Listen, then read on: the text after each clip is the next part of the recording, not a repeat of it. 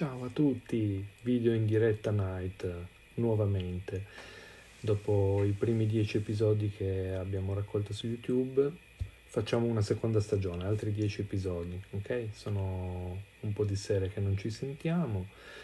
anche perché ho anche un po' un'altra vita, a volte ho sonno, a volte ho altro da fare, ma più spesso ho sonno, però quando mi ricordo torno qui da voi ad ammorbarvi con qualche film classico da vedere. Eh, quindi cazzeggio ancora un minutino nell'attesa che i soliti sospetti si colleghino per vedere questa nuova live. E intanto comincio a dirvi che il film di cui vi voglio parlare stasera è un film molto importante eh, per me, molto importante in generale eh, ed è una discreta mazzata, nel senso che richiede una visione magari un pochettino, un pochettino concentrata, diciamo, soprattutto perché si tratta di un film che a differenza di, di molti film, tra virgolette, del cuore che, che uno potrebbe avere, è un film appunto che non si guarda tanto con il cuore o non si guarda tanto con la pancia, diciamo, ma si guarda soprattutto di testa. Quindi uno di quei film un po' intellettuali che caratterizzano, diciamo, eh, in modo particolare il mio essere un intellettuale spocchioso. Eh, ciao Paolo. Eh, spocchioso e di sinistra eh, che è sicuramente snobbissimo nelle sue visioni eh, ma comunque, insomma, passiamo a dire qual è questo film. Il film è un film di Jean-Luc Godard, che è un regista che magari ecco, non, è tra i primi che direi quando dico i miei registi preferiti, perché sicuramente è un po' challenging, come si direbbe in inglese, un po' sfidante, ecco, un po'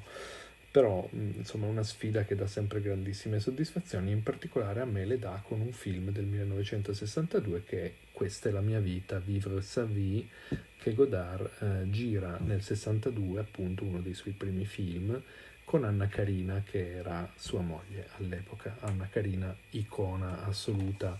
della Nouvelle Vague francese, eh, con questo taglio che, che, si vede comunque anche nella copertina del DVD. Ehm, taglio alla Louise Brooks, proprio eh, è noto che Godard eh, quando si iniziava a girare questo film disse alla truccatrice eh, Nana, la protagonista del film, eh, interpretata da Anna Carina, Nana è Louise Brooks, quindi doveva essere truccata e pettinata come la diva degli anni 20 e 30 di film come Il vaso di Pandora di Pabst eh, e che poi diede origine anche nel tempo a quei tipo di, di, look che da noi in Italia si chiama il look alla Valentina di Crepax, per dire, più conosciuto per quello, il caschetto, tipo il mio, no? Mm, così, però un po' più corto del mio, che in quarantena non ci sono i barbieri, io non ci voglio usare i rasoi e quindi siamo sempre più sul lungo. Ehm, allora, dicevo, questa è la mia vita, eh, due parole anche su questo DVD che è molto interessante. Il DVD è un DVD, eh, oggi non si usano più tanto i DVD, si usa a guardare i film in streaming, anche i film come Questa è la mia vita lo potete trovare interamente su YouTube, ovviamente in francese con sottotitoli, però si trova tutto gratuitamente ed è un DVD, no, dov'è? Ah, qui. È un DVD RHV della Replay Some Video. Era una collana di DVD che a me piaceva tantissimo faceva tutti questi film um, particolari della storia del cinema un po' come uh, in America la Criterion Collection che è una collezione di DVD di film classici e bellissimi che spaziano appunto dagli anni 30-40 fino agli anni 70-80 ehm, e che hanno sempre delle edizioni molto belle. Questa è un'edizione particolare, più di tanto non, non c'è dentro, non è un doppio disco, però aveva già una bella intervista a Godard eh, al suo interno. Um, vogliamo raccontare brevemente la storia del film. Allora, la storia è la storia di Nana, una ragazza che decide di mollare marito e figli, mollare la sua vita, e, cioè mollare la sua vita tra virgolette borghese e di vivre sa vie, cioè di vivere la sua vita come vuole lei. In sostanza vorrebbe diventare un'attrice eh, si fa un servizio fotografico, comincia a lavorare come commessa in un negozio di dischi, non riesce ad ingranare, a un certo punto fa un servizio fotografico nuda, eh, lì guadagna qualcosa, viene fermata dalla polizia, insomma qualche scamottaggio così, a un certo punto incontra una vecchia amica, prostituta, che le dice vedo che sei in una situazione finanziaria un po' così, potresti fare come me e la avvia sulla strada della prostituzione, che lei però non ha, non, non ha molto chiara, quindi la fa incontrare con il suo protettore Raul, eh, che le spiega tutti i segreti della prostituzione.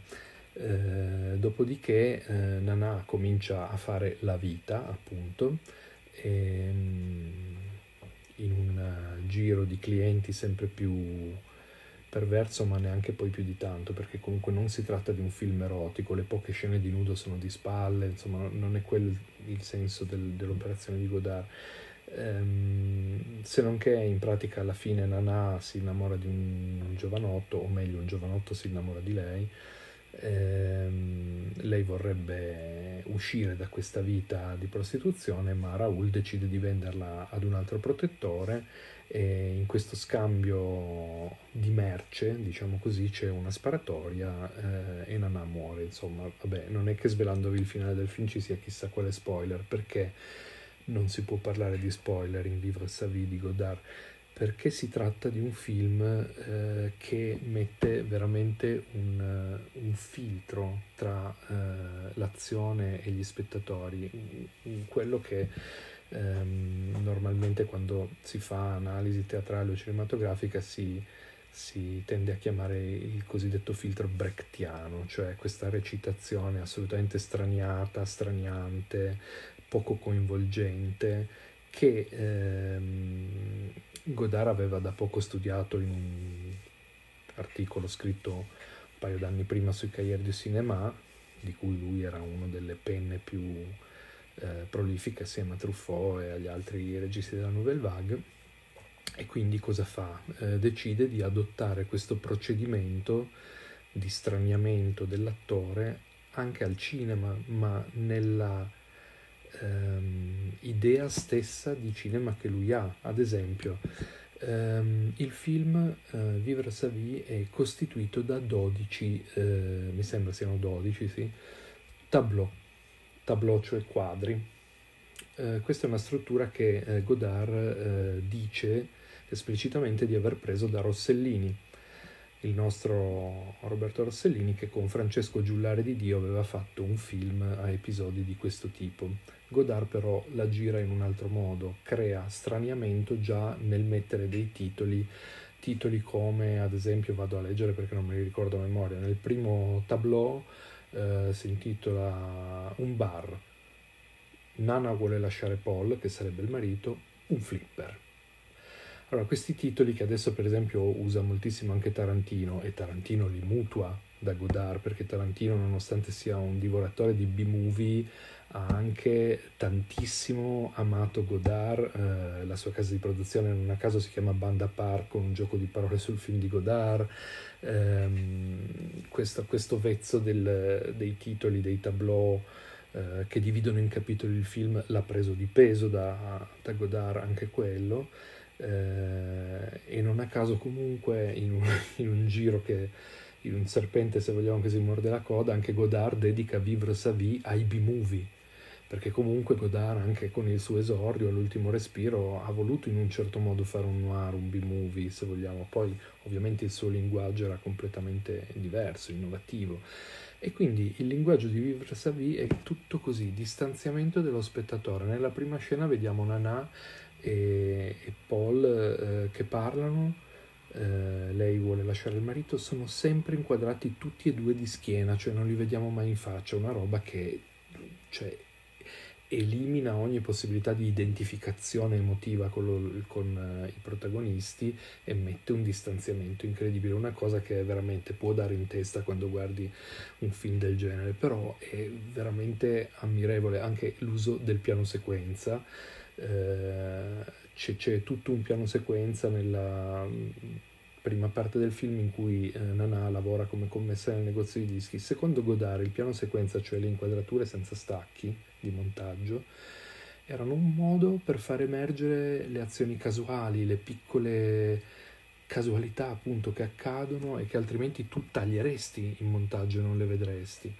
Eh, il citazionismo a un certo punto eh, Nana eh, disperata perché non sa più che cosa fare della sua vita, si ficca in un cinema e, ve- e va a vedere, eh, tra l'altro scelta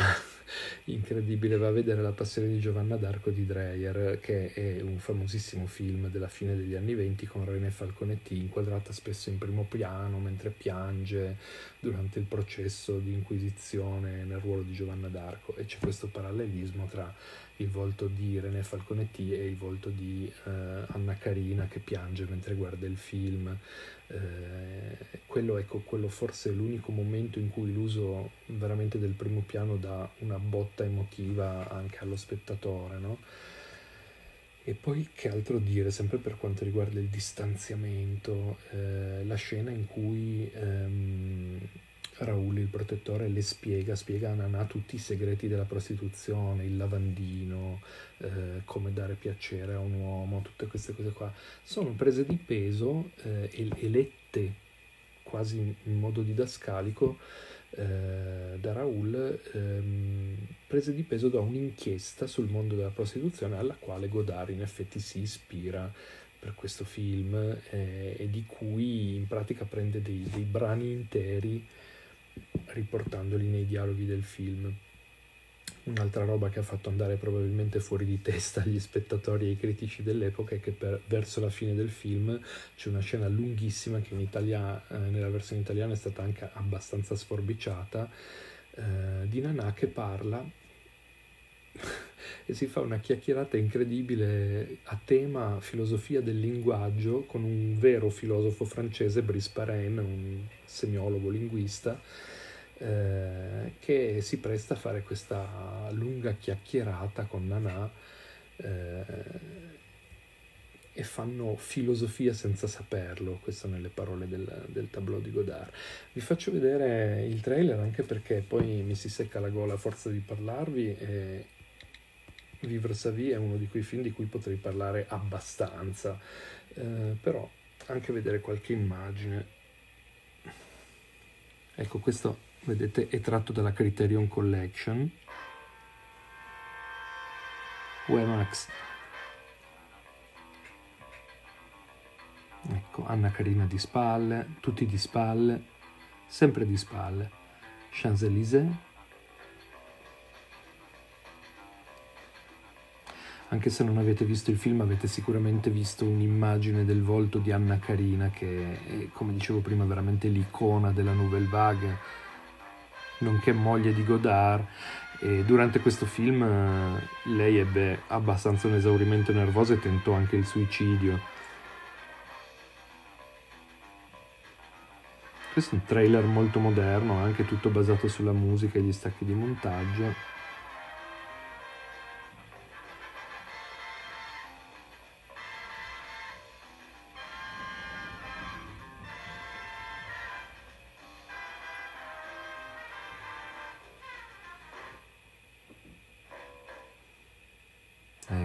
Che si porta i clienti in camera. Nelle varie scene, diciamo, di, di prostituzione sono sempre dettagli, vestizioni, svestizioni, niente di particolarmente pruriginoso perché come dicevo non era quello l'intento di Godard.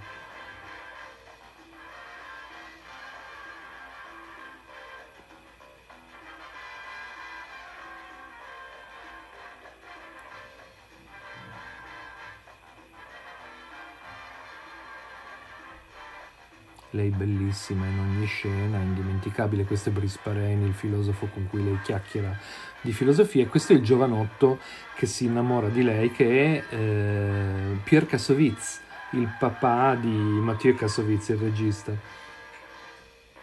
Ecco, qui siamo sul finale del film.